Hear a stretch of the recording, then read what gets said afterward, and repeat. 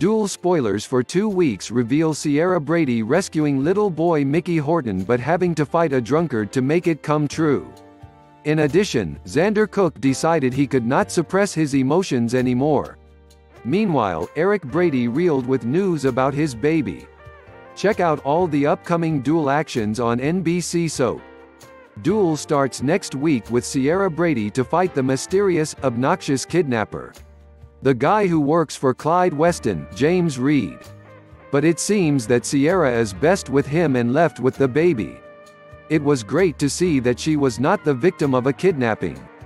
Sarah Horton's suspense.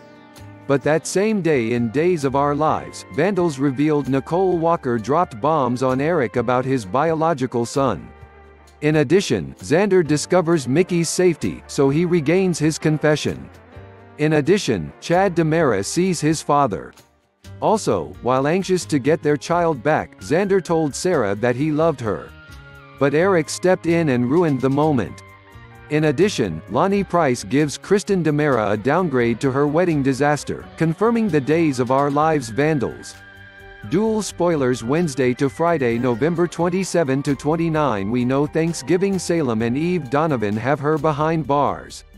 She and Hattie Adams broke bread in prison, like D. Ben Weston, Will Horton, and the terrible Clyde. In addition, Marlena Evan caught the eye of a mysterious man, but who? And Princess Gina also finished the work on the portrait of Stefano DiMera.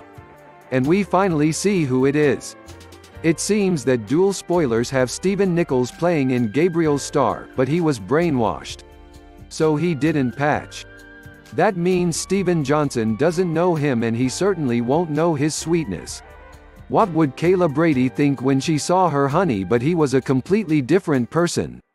Then, Thursday and Friday, there are no days of our lives.